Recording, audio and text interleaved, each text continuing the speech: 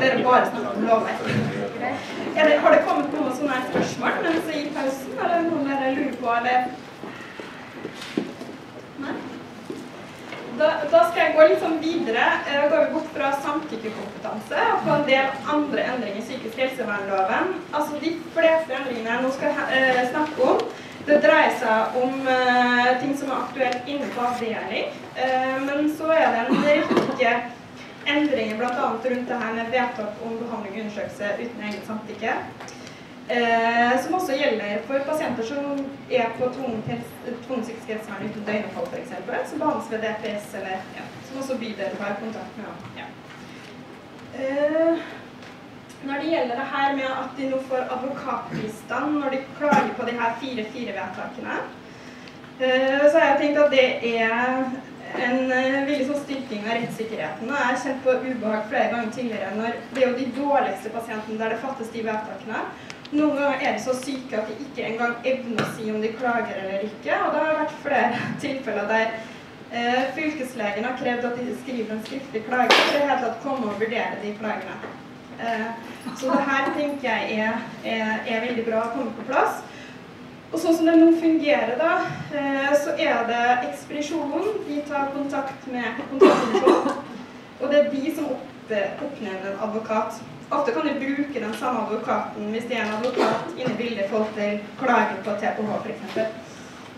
Eh, det er noen, En sjelden gang kalte vi de her vedtakene på helg. Og da er det postpersonalet da, eh, som må på en måte varsle ekspedisjonen i forhold til at de ønsker advokatbistand. Så vi har sånn oppdatert eh, tekst i vedtaksskjemaet der det står at de har rett på advokat, eh, og også oppdatert klageskjema. Så det, sånn som det foregår når, når de klager og får med seg advokat, så har vi en slags sånn mini-KK-sak med og advokat og pasient på stedet. Ja. Eh, og så det her har vi hatt mye sånn her eh, undervisning for spesialistene om. Eh, for når det gjelder vedtak om tvungen observasjon, tvungent psykisk helsevern og de her 4-4-vedtakene, så er det krav til betydelig mer dokumentasjon.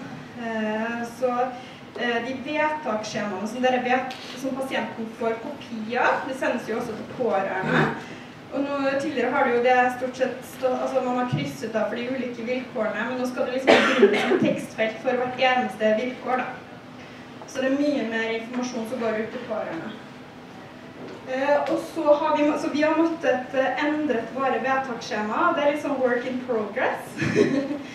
så vi har, altså Det er noen vedtaksmaler som er ute på høring. Uh, og de er tilpasset Dips Arena, og det vil ta tid før vi får Dips Arena på plass. Eh, og i Vips Arena så har jeg forstått det sånn at når man krysser av på noe som ikke er aktuelt, så forsvinner på en måte det bort. Så de vedtaksskjemaene blir ikke så lange. Eh, men eh, de vedtaksskjemaene vi nå har revidert, de er veldig lange. Fordi, ja eh, Men det er litt av årsaken, da. Eh, ja. Og så, det her er litt sånn Egentlig er det ikke nytt. det har stått der hele tiden, men vi har ikke nok ikke praktiserte eh, så systematisk. Eh, det er det at før, man, før en paragrafvurdering, så har den seg nærmeste pårørende de har rett til å uttale seg før, før vedtak fattes. Det er ikke bare en klagerett når vedtaket fattes, men de har, de har rett til å uttale seg før Eh, og det har nå kommet inn i vedtaksskjemaet, og derfor eh, må vi skrive noe om det hver gang. Eh, og derfor har vi liksom prøvd å fått på plass litt sånne rutiner rundt det. da. For det er veldig mye som skal gjøres i en paragrafvurdering. Eh, eh, det er mye som skal tas stilling til innen bare 24 timer. Så derfor har vi liksom nå fått inn en rutine at det skal stå noen pårørendes syn på tvangsinnleggelser allerede i innkomstnotatet. Det er ikke alltid man får tak i pårørende, eller man skal i hvert fall forsøke. Og hvis man ikke får det til, så forsøker man neste dag. Og det er også mulighet til å krysse at man har forsøkt å få tak i det, men får ikke tak i det. Ja. Uh, men det er innleggende leges innkonsultat, og det har kommet et ekstra punkt der. og vi er ikke bare interessert i hva du syns om innleggelse, men det er på en måte tvangsinnleggelse vi er interessert i å høre. Ja. Og så bør de bare også da informeres om at deres syn det blir jo da Det kommer jo inn i skjemaet som pasienten får kopi av. Eh, altså det er litt greit at pårørende får beskjed om det, for det, det er ikke alle som vil uttale seg når de vet at pasienten får en kopi av det de sier. Men, ja. Ja, eh, det her, eh, her er egentlig sagt litt eh, noe om eh, at vi, vi, får liksom tekstfelt da, der vi må begrunne hvert eneste vilkår for tvungent psykisk helsevern og tvungen. Eh, og så blir det også at vi må liksom dokumentere pasientens uttalelser. Altså hva eh, deres syn på tvang, deres syn på frivillige tiltak, tidligere erfaringer med bruk av tvang. Eh, eh, og pårørendes uttalelser, som er nevnt. Begjærende det er tutor. Det brukes veldig sjelden. En sjelden gang er liksom politiet tutor. Liksom. Ja. Eh, og så er det sånn at eh, i og med at de fleste pasienter nå, som blir lagt inn på tvang, de vil da mangle samtykkekompetanse. Og når de gjør det, eh, så er det sånn som i somatikken sånn, da får pårørende, den som nærmeste pårørende, de får rett på lik pasientinformasjon, så de får veldig mye mer rett til informasjon og medvirkning. For da er jeg på en måte pasienten ikke i stand til å ta valg angående seg selv eller egen helse. De er for dårlige til det. Ja. Um, og da har vi liksom drøftet veldig mye hvordan skal vi gjøre det her, veie taushetsplikt opp mot det her med liksom at pårørende skal ha informasjon. Men egentlig eh, har vi nok eh, altså Tidligere var det på en måte sto det en del i rundskriv om en del sånne reservasjoner, at man burde skrive lite. Eh, sånn, og det som var nødvendig. Men de reservasjonene de er tatt ut. De er borte i den nye veilederen. Så man tenker egentlig at de har, de har rett på nok informasjon til å på en måte sette seg inn i saken. Ja. Pasienter kan ha flere pårørende, eller det står jo her flere pårørende. Har alle da pårørende på lik linje informasjon til Nei, eh, på lik linje rett på informasjon? Det er vel hovedsak den som står som nærmeste pårørende. Ja, hovedpårørende. Ja. Og der, der, kan man få skyte inn også at informasjonen skal jo gjenspeile på mange måter den informasjonen, hvis man tenker tilbake på dette med samtykkekompetanse, og at pårørende er ment i pasient- og brukerrettighetsloven til å representere pasienten og uttale seg på dens vegne, så må jo de med nødvendighet ha samme informasjon som man må formode at pasienten også skal kunne ha for å, for å være samtykkekompetent. Så det her gjelder det samme. Mm.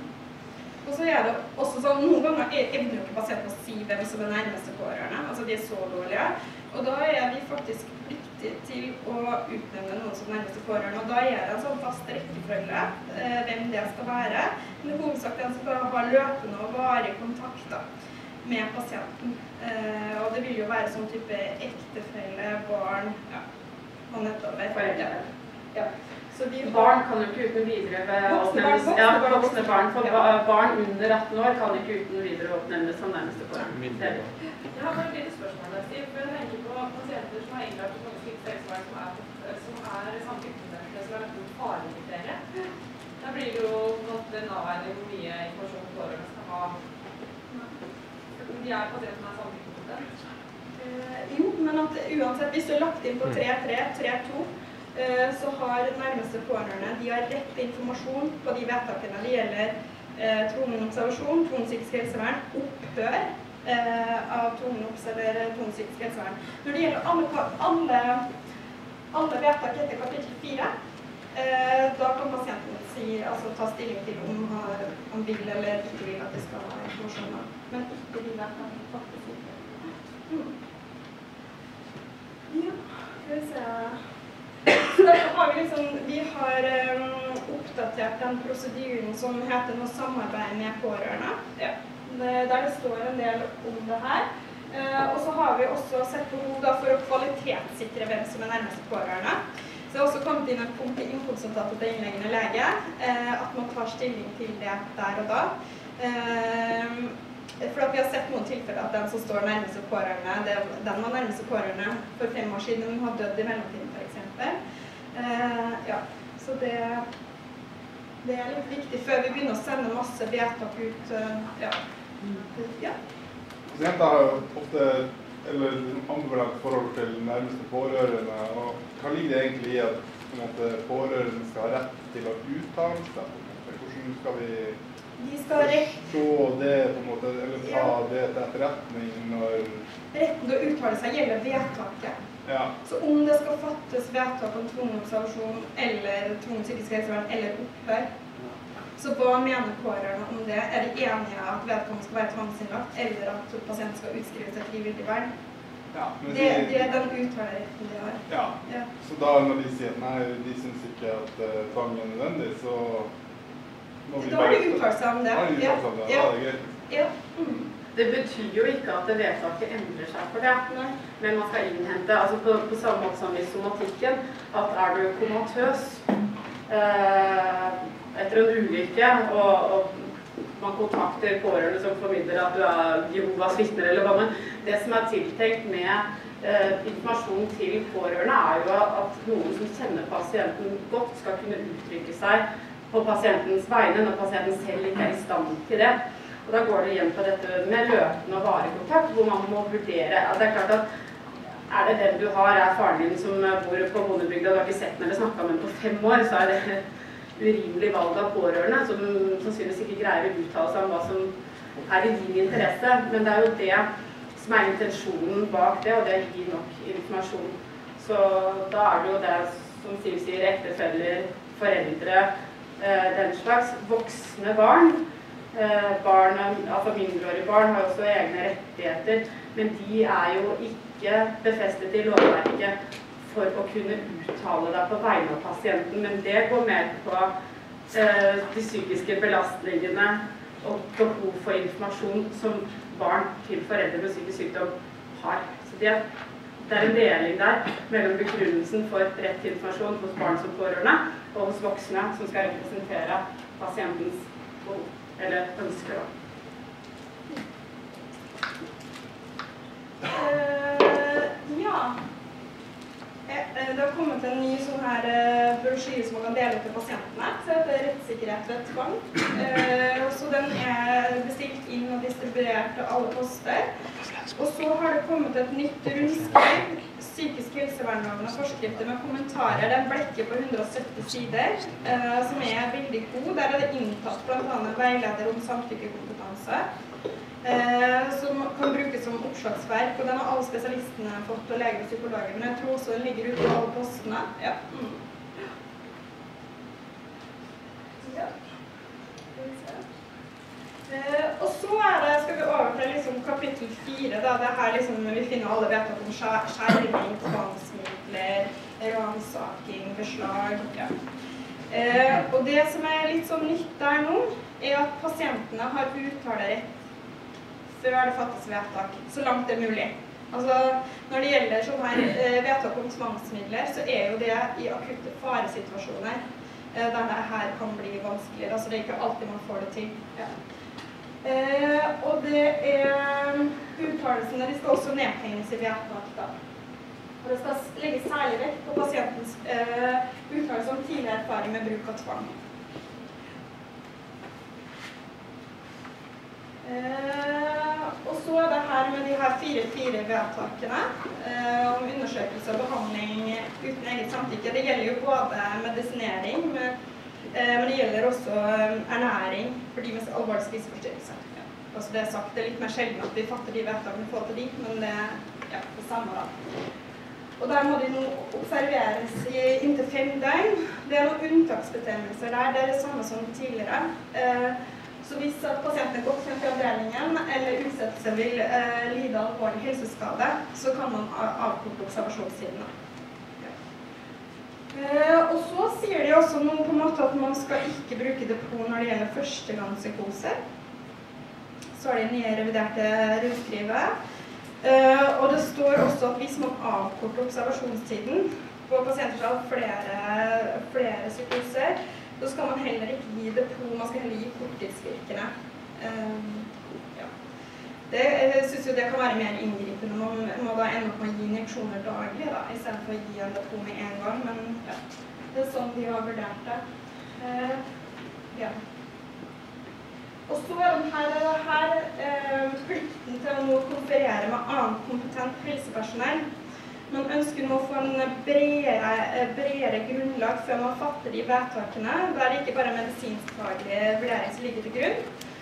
Eh, som at eh, man, skal, man, skal, konferere med annet helsepersonell, og det kan være annet helsepersonell inne på avdeling, eller ute i bydel, eller på DPS. Og det jeg tenkte at det skal jo være en klinisk nyttig vurdering når man skal fatte de vedtakene. Så det aller beste er jo å ta kontakt med de som har kjent pasienten over tid. Uh, hvis pasienten har erfaring med å ha hatt slike vedtak før, vært tvangsmedisinert uh, uh, over tid før, hvor, hvilken effekt har, det, har, pasienten hatt av behandlingen? Har hatt um, utålelige bivirkninger? Eh, eller har han tolerert det greit? Har det vært liksom veldig inngripende med mye bruk av tvang som egentlig ikke har hatt noe gevinst og bare ødelagt samarbeidet, eller har det liksom gått greit? Eh, det er liksom litt sånn essensielle opplysninger som vi er ute etter, da. Eh, og mange ganger For oss inne på avdeling kan det være noen ganger aktuelt å kontakte de som kjenner pasienten fra ambulante, de ambulante enhetene eller fra bydel f.eks. Eh, og noen ganger kan det være en spesialist eller en sykepleier på en annen avdeling som kjente pasienten fra forrige opphold, og pasienten var innlagt i fem måneder eller ja. Eh, så det kan være litt ulikt, da. Eh, og så må vi være pragmatiske. altså De få tilfellene vi gjør det her på helg, så må vi jo prøve å få tak i de vi får tak i på helg. Eh, da blir det som regel noen andre inne på avdelingen. da. Men stort sett får vi tak i noen som har kjent pasienter før. Eh, ja. Mm. Ja. Eh, og så her er bare litt sånn listen av nye punkter inn i det vedtaket, eh, som bare viser litt sånn kort, da, men det er akkurat det vedtaket det er der det er liksom mest økning i eh, informasjon som skal inn. Da. Det er betydelig mer dokumentasjon eh, som skal inn. Eh, så det er liksom eh, hvilke virkemidler man skal bruke. F.eks. er det nødvendig å bruke politi og innhente pasienten eller beltelegge pasienten eller få gjennomført det. Eh, type dosering, effekt, hvordan den samlede tvangsbruken forventes å påvirke pasienten og samarbeidet fremover. Det er jo veldig viktig. Eh, tidligere erfaring med bruk av tvang. Ja. Hvordan vi følger opp i forhold til vurdering av effekt og bivirkninger. Så alt det her er Så vi tror nesten vi trenger litt fem døgn på samlinga. Eh, og så er det her Det her har dere sikkert fått erfaring med allerede. Eh, en måned siden lovendringen tredde i kraft. Men som jeg sa, hvis, altså Pasienten har uttalerett nå. da. Så hvis vi tenker at du er i behov av skjerming, så må pasienten få informasjon om det. Pasienten må få rett til å uttale seg. Enten det er greit, eller ja, det vil jeg gjerne, eller det er så fint å være på avdelingen for der er det trygt. Og det er jo noen som sier det. Det er andre som bare skriker og helt uenige, eller ja. Eh, men de må få uttale seg. Hvis de er uenige, så må spesialist fatte vedtak med en gang. Mm. Jeg vet ikke hvordan det her går. Altså, har alle fått det med seg, eller har det vært noe krevende? Uh, fått gjennomføring av det, eller? Nei? Det går greit? Ja. Uh, så, så da er det liksom litt sånn hos oss da, så er det sånn når pasienten flyttes fra inntak f.eks., der bruker jo ikke skjerming, for hele posten er stappet som en skjermingspost. Eh, men når de da skal flyttes til en annen post, eller skal flyttes til skjermet enhet, så må pasienten informeres om det før de flyttes. Og man, de må få uttale seg hva de synes om skjermingen. Eh, og hvis de da er uenige, så må det fattes vedtak om skjerming på inntak. Og hvis det er mye å gjøre på inntak, så, eh, så gjør vi spesialistene på posten og det. altså. Ja. Men hvor er det på kveld og helg og Ja, kommer jeg til her. Da har vi liksom laget en ny rutine på skjerming. Så det, nå blir det jo samme rutine for alle når vi bare flytter inn i et nytt bygg. da. Eh, bare sånn oppsummert hvordan det kommer til å bli, så, og hvordan det er allerede på AKU og på Vår Frue. Så er det sånn at eh, da kontakter man forvakt som kontakter bakvakt. Og det er bakvakt som fatter vedtak over telefon. Uh, og, og, forvakten skriver det ned og sender vedtaksskjema og notat til spesialisten dagen etterpå til godkjenning.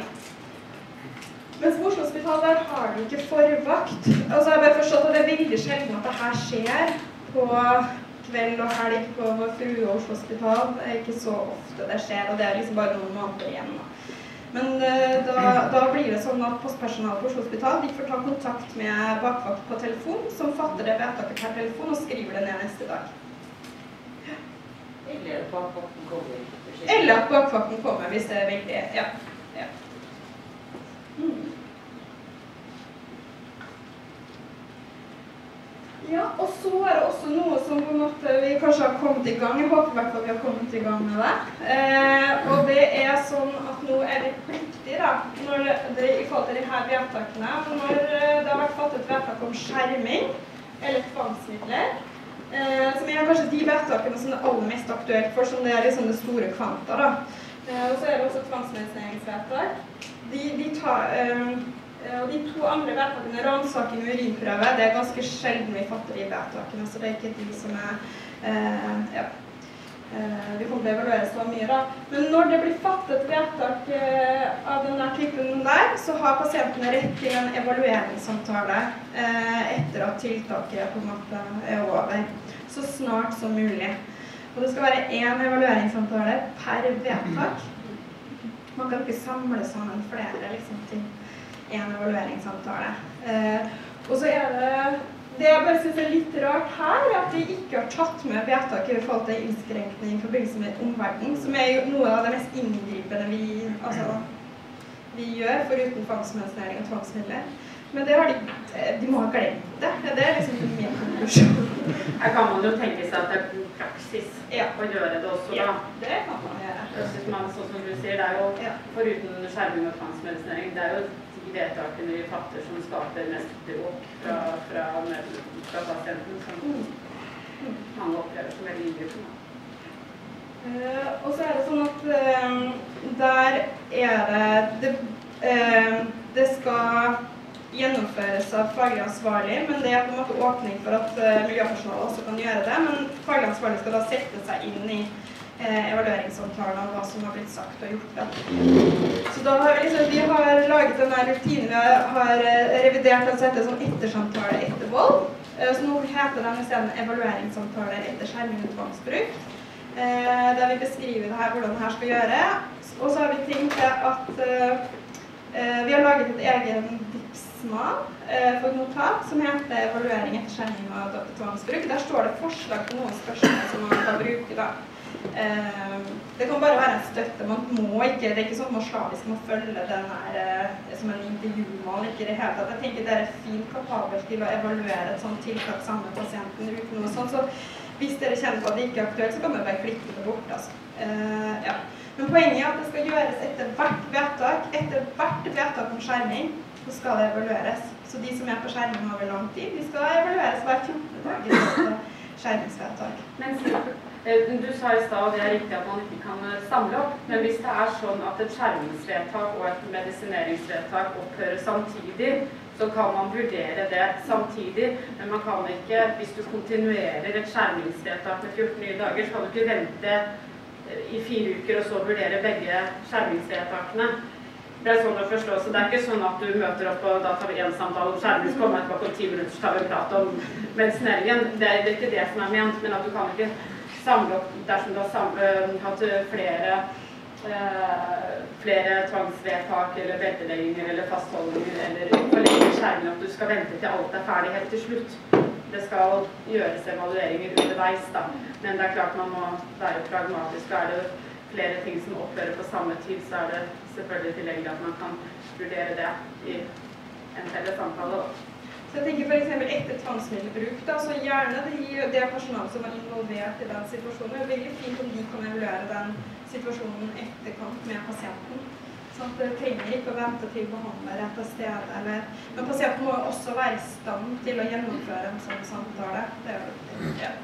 Og her skal jo disse evalueringene Dersom eh, de som er faglig ansvarlige, ikke har de evalueringssamtalene, så er man allikevel forpliktet til å sette seg inn i de og mene det, sånn at de evalueringsnotatene de skal sendes til den som er faglig ansvarlig for godkjenning.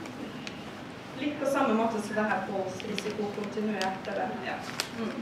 Men sånn, hensikten med det her da, det er ikke bare å plage oss med mye dokumentasjon, men det er jo at vi skal evaluere noe av de mest inngripende tingene vi gjør. Eh, og de gangene på en måte at det har blitt svært uheldig, eller sånn at det skal hjelpe oss å begrense tvangsbruk videre hos den pasienten. Vi skal bruke de, dokumentere de erfaringene pasienten har hatt, og bruke det videre. da. Mm.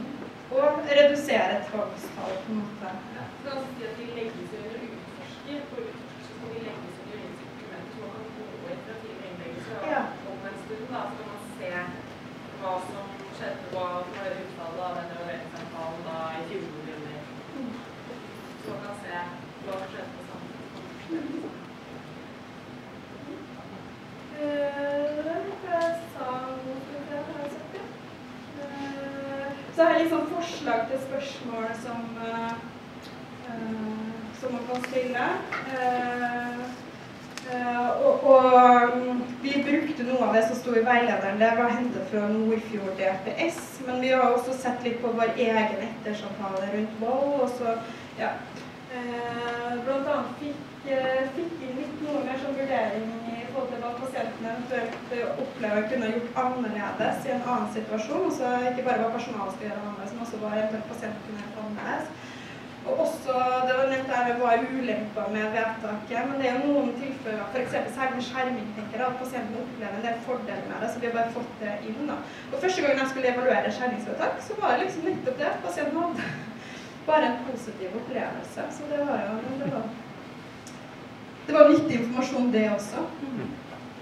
Særlig dagligdags eh, på en måte, samtale med personalet hadde vært veldig viktig. Blant annet. Ja.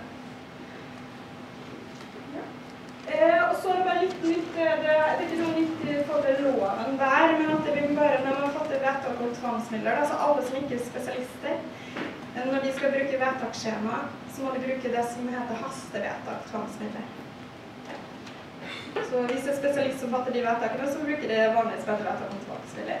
Og det tror jeg nok er for at de vil liksom eh, samle opp informasjon i hvor stor grad er spesialisten involvert, og hvor stor grad på en måte gjør seg unntak på at det er andre, andre spesialister som fatter de vedtakene.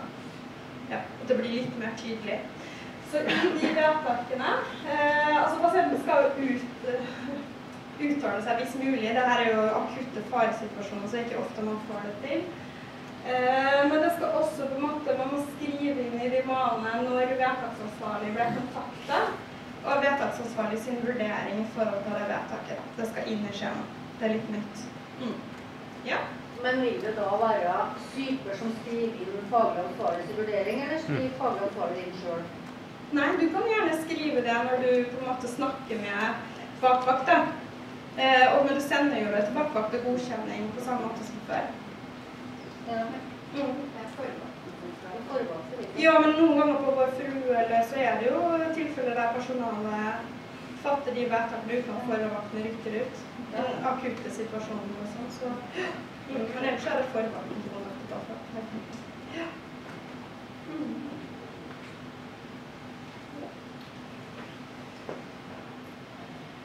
Ja. Så må man liksom ringe til bakvakten på natten når det har vært en kortvarig holding på to minutter. Og så retorisk spørsmål. Eh, altså, vi eh, altså, bak, altså, Noen ganger så er jo tvangstiltaket bare helt kortvarig, og det, eh, det er på en måte opphørt når man får mulighet til å ringe fagansvarlig. ansvarlig. Ja. Eh, så, så i forhold til om man skal direkte kontakte bakvakt eh, der og da, det må gjøres sånn som vi har gjort det tidligere i forhold til en sånn konkret vurdering. Ja. For meg som går i forvakt, da, så er det gjelder vel mer Jeg alltid ikke ringe bakvakt på to minutter fastholding klokka halv fire. Men det jeg tenker mer mer inngrip som bildelegging, at man skal vurdere hvordan man skal veldig inngripende og vurdere hvor lenge skal vi opprettholde beltet og sånne ting. Men det ikke er så ofte skjer, da. Eh, Så at sånn vurdering. Mm. Så det er egentlig ikke noen endring i forhold til hvordan vi gjør det. Gjør det allerede. Eh, ja. Andre mindre endringer. Pasienten har rett til å klage på tvungen observasjon inntil tre måneder etter vedtaket er opphørt. Eh, ja. Og så kommer det, det jobbes med sånn her å få elektroniske maler. Altså det er jo maler ute på høring, men så er liksom tanken etter hvert at vi skal få vi skal kvitte oss med protokollene for elektronisk eh, føring på det isteden. Ja. Men det arbeidet tar tid. Det tar mange, mange år. Uh, ja. Uh, og så denne arbeidsgruppen vår den er oppløst, men det er bare å ta kontakt hvis det er noe dere lurer på. Vi har satt oss mye inn i det. Uh, og så har vi liksom anbefalt da, at man jobber litt videre med en del ting. En ting er pårørendeundervisning, vi skal være i kveld, uh, om de nye uh, ja, lovendringene. det er anbefalt da, fra Helsedirektoratet at man drøfter f.eks. samtykkekompetansevurdering, som er krevende i etiske refleksjonsgrupper, klinisk etisk komité. Ja så har vi spilt den videre.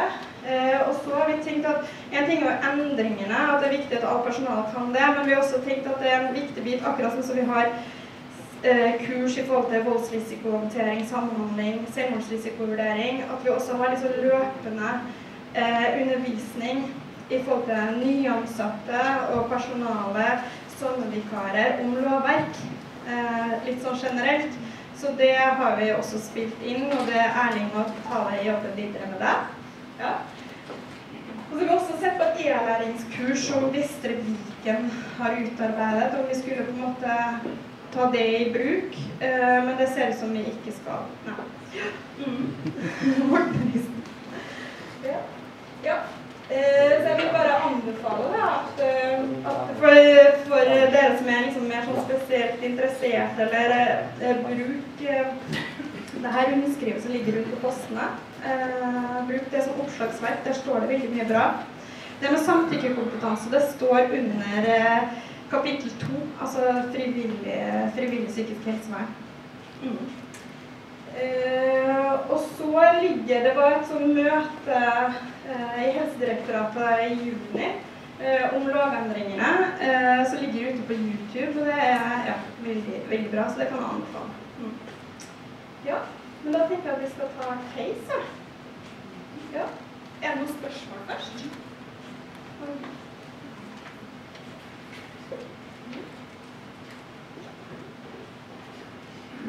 Dere har jobbet med altså Vi la jo ut noen sånne bøker som Katrine på de ulike postene litt der man kan skrive ned spørsmål rundt det her, og som vi tenkte vi kunne besvare i dag. Men det kom veldig lite inn, da.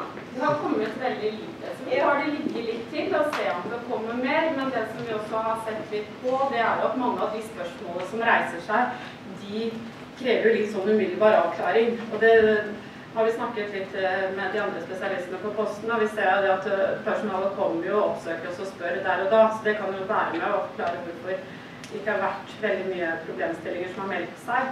Men eh, skriv gjerne noe i det hvis det reiser seg spørsmål, så tar vi en liten runde om noen uker og ser om det har dukket opp mer. Men også selvfølgelig det også eh, spør spesialistene på postene deres. Vi i denne ressursgruppa vi Eh, avslutter jo virket vårt nå, men eh, de er jo ikke fremmed for å svare på spørsmål allikevel. Det var et forslag på Postnord å sende det samtidig til dere post, eh, fordi da var det lettere å skjønne hva som sto i boka. Ja, man skal være god på å tyde ja. håndskrift. Det, og, og, og det, da vil du få det umiddelbart. Ja. Det er også et tips at man samtidig sender til posten.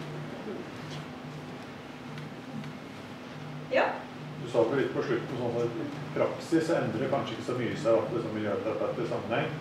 Eh, men jeg tenker vi har diskutert litt i forhold til dette med, med individ i grupper og hvem hensyn på en måte som, som, er viktig å ta. Det kan være pasienter som, som, som, sitter i et plenum uten å være farlige eller, eller sånne type ting, men hensyn til andre blir på en måte primærgrunnen for, å, for å skjerme. Mm. Forventes det at man på en måte da, i motsetning kanskje til tidligere, fortsatt skal bruke tid på å formulere vedtaket før man håndterer?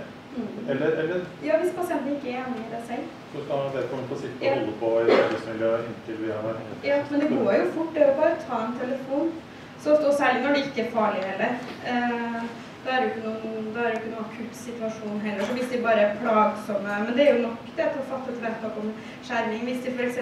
har Eh, støyende atferd, seksualiserende atferd, involvere seg i medpasienter, er veldig slitsomt for medpasienter, så kan man fatte vedtak om skjerming eh, av hensyn til medpasienter. Sant? Men hvis pasienten er uenig, så må dere ja, dere må kontakte spesialist. Men her er det også, så vidt jeg har forstått, så er det også tilstrekkelig at den som er faglig ansvarlig, sier muntlig at man fatter vedtak, og så effektueres det der. sånn at du trenger ikke da sitte og holde i hand til liksom, vedtaksnotat og skjemaer og hele bøtteballetten. Men det skal jo utarbeides snarlig. Men, men det skal fattes et vedtak og formidles muntlig at det er fattet, og så kommer eh, papirmølla kort tid etter. Nei, det var egentlig det jeg skulle inn på òg. Jeg så ikke helt for meg at jeg skulle ha noen springe naken rundt i gangene uten å. Gripe inn. Nei, og så har vi liksom, vi har snakket en del, altså vi må være pragmatiske også, for den problemstillingen har kommet opp en del, at noen ganger så skjerming er jo mindre inngripende enn tvangsmidler eksempel, og miljøpersonalet har i mange år på en veldig god måte brukt mindre inngripende tiltak først, og det ønsker vi jo fortsatt at man skal gjøre. Så ja, hvis det på en måte kan unngå eskalering, så på en måte før når pasienten er på skjermen, så ringer man bakvakt, eh, sånn, ja, hvis det er sånn man får løst situasjonen på, på, på en best mulig måte. Vi kan ikke være helt uh, Så må man jo være pragmatiske. Alle disse endringene er jo ment å styrke eh, pasientenes eh, både rettssikkerhet og medvirkning. Så det er jo helt åpenbart motsatt hvis det går fullstendig på tverka av pasientens integritet og ikke gjøre noe. Så skal man ikke sitte der og ja, ja, nei, nei, vi får vente på. Så du må, jo, du må jo handle i tråd med det som ivaretar pasienten. Det er jo hele meningen, da. Og man kan be pasienter gå på rom, det er ikke skjerming. Nei da, det er, det, det, det, det er jo ja. kanskje første skritt om ikke Ja, annet, men, men det er jo noe med det med det, den enes rett kontra flere andres på en måte, beskyttelse, da, hvor, Ja. du får en helhetsvurdering som på en måte går litt på kryss av teorien bak individet frem. på en måte. Og det har vi jo praktisert og gjort i mange år. Jeg ser ikke at det vil bli noe annerledes for de faglige, så står det sentrale fortsatt. Mm. Men, men, men eh, bare fordi du, du sa det litt avslutningsvis at praksis ikke endrer seg så mye.